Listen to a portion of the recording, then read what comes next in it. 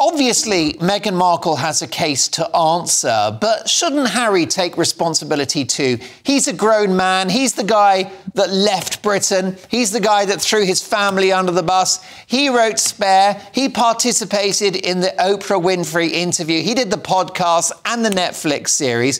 Do you think he's getting off yeah. lightly and that maybe Meghan is taking too much of the blame?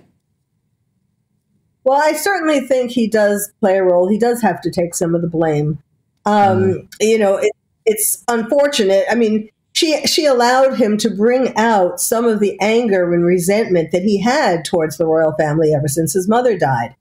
Um, so yes, he is not blameless, but um, she is the one who's perpetuating war. I, I think Harry is beginning. You know, since uh, King Charles was diagnosed with cancer, I think Harry is, he began actually a little while ago, but I think it's sinking in now how much he misses his family and how, mm. how they're not going to be around forever to be, uh, to be, you know, um, spoken to or, or disregarded or, or, you know, dissed actually in all the ways that they have been doing that. And um, he's realizing, you know, wait a second. And so I think, I mean, it might be um, at some point that he would go back to the UK and and that he would have to divorce Meghan. I don't think that that's happening just quite yet, but but there are some stories about that that he's talking about wanting to be more in the UK and she doesn't want to. So mm.